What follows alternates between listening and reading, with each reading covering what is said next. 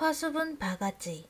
화수분이라는 말을 들어봤습니까? 꺼내도 꺼내도 끝도 한도 없이 나오는 보물단지를 화수분이라고 합니다. 오늘은 이 화수분에 얽힌 이야기를 하나 해볼까 합니다. 옛날에 참 가난하게 사는 농사꾼이 있었습니다. 옛날 지금이나 농사꾼 살기는 어려웠습니다.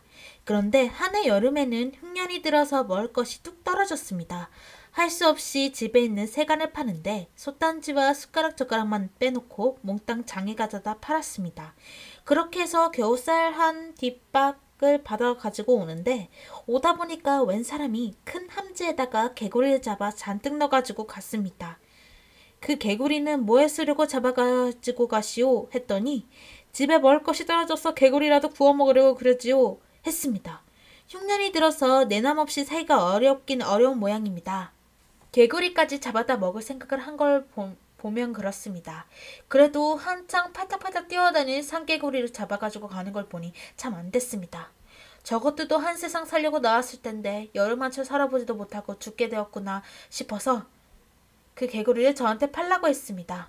네, 이 쌀 한 뒷박을 들일 터이니 그 개구리를 나한테 파시오. 개구리를 잡아가지고 사, 가는 사람은 세상에 이런 횡재가 어디 있나 싶었습니다. 그게 정말이요? 그럼 내가 실없는 거짓말 하겠소. 어서 바꾸시다. 이렇게 해서 쌀한 뒷박과 개구리를 바꿨습니다. 쌀을 주고 개구리를 받아가지고 근처에 있는 연못에 갔습니다. 가서 개구리 한 마리 한 마리씩 연못에 넣어줬습니다. 넣어주니 개구리들은 살판 났다고 식명나게 헤엄을 쳐서 물속으로 들어갔습니다. 그렇게 개구리를 연못에 다 넣어주고 돌아서는데 아, 물속에 들어갔던 개구리들이 깨글깨글하면서 다시 물 밖으로 나왔습니다. 개구리들아 어서 물속으로 들어가거라. 여기에 나와 있다가 또 잡힐라. 그래도 개구리들은 가지 않고 개울거리고 있었습니다. 웬일인가 하고 가만히 보니 개구리 떼가 한 바, 바가지 하나를 끌고 나와서 그러고 있었습니다. 오라 저 미물도 은혜를 갚는다고 저러는구나. 그래 불편없는 헌 바가지긴 하다만 고맙게 받아야지. 이렇게 생각하고 바가지를 주워 들었습니다.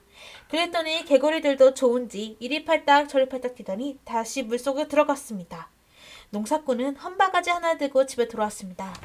집에 돌아오니 아내가 세간에 팔아서 사온 쌀 내놓으라고 그랬습니다.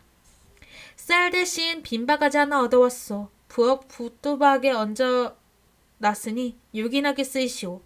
아내가 부엌에 나가보더니 에이 농담도 잘하는구려. 빈 가지 바가지라더니 쌀이 한가득 들어있었구먼. 아 이랬습니다. 하도 이상해서 부엌에 나가봤더니 참말이었습니다. 조금 전까지만 해도 텅텅 비어있던 바가지에 어느새 하얀 잎살이 철철 넘치게 들어있었습니다. 농사꾼 내외는 그 쌀로 밥을 지어 배불리 잘 먹었습니다. 그런데 그 이튿날 아침에도 아내가 부엌에 나가보니 어제 텅텅 비어놓은 바가지가 또 쌀이 한 가득 들어있었습니다. 여보 이리 좀 와보. 바가지에 쌀, 또 쌀이 들어있어요. 가보니 정말 있었습니다.